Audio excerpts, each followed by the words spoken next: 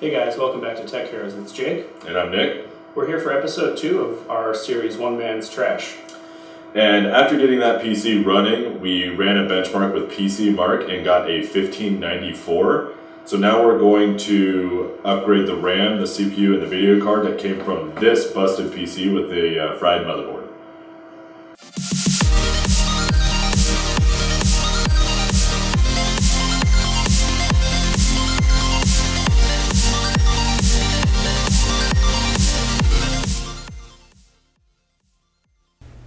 The first step in upgrading our build is removing some of the old parts, and the tools I'm going to use for that are a magnetic tray for holding screws, a Phillips head screwdriver, a flathead screwdriver, and some thermal compound.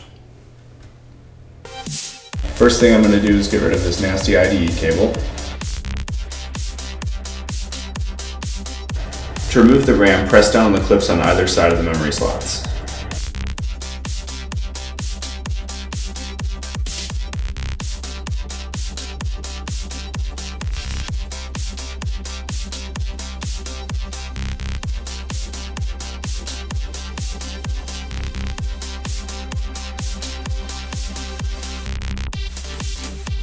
To remove most stock Intel CPU coolers, you have to lift up on the pins on all four sides and then remove the cooler.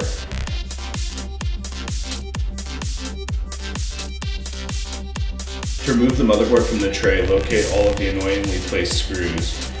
Screw, screw, another screw, and another screw, screw, screw, another screw, and another screw, screw, screw, another screw, and another screw.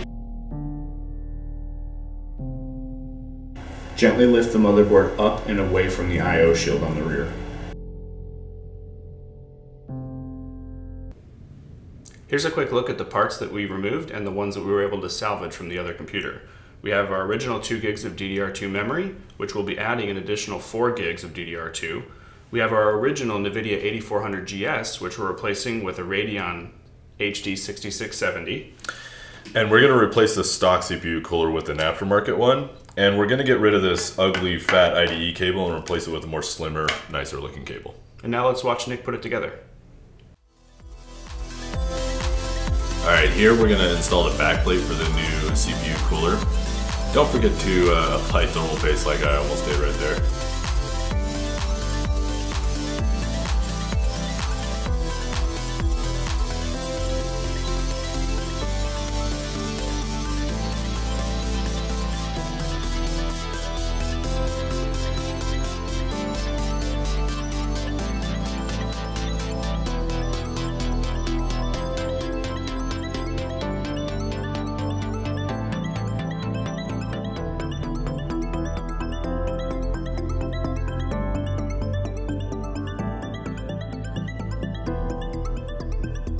Alright, now we are going to install the motherboard back into the case.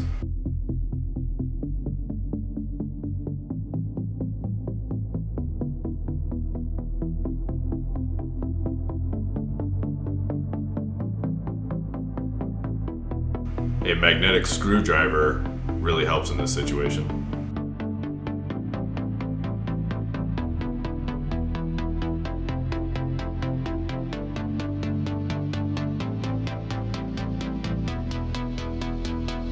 Here I am installing the connectors for the front power button, the reset button, the hard drive LED light, and the power LED light.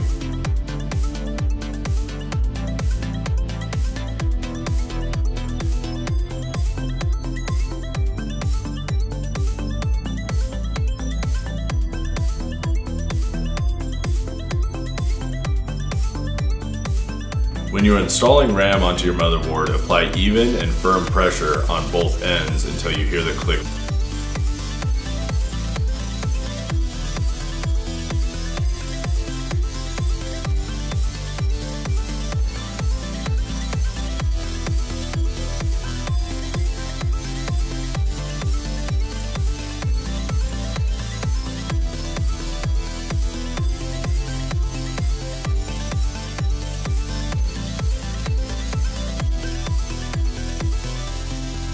It pays to take your time when routing your cables because it can greatly improve your airflow inside the case.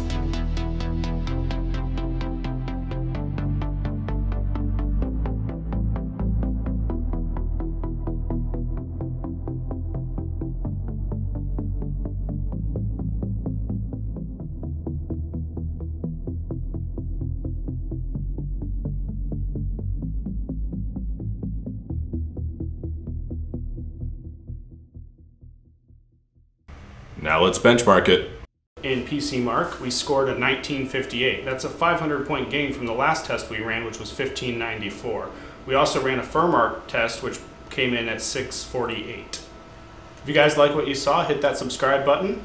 And if you want to see more series like this or help support creating new builds, you can support us on Patreon. We'll leave a link in the description. See ya! So rolling.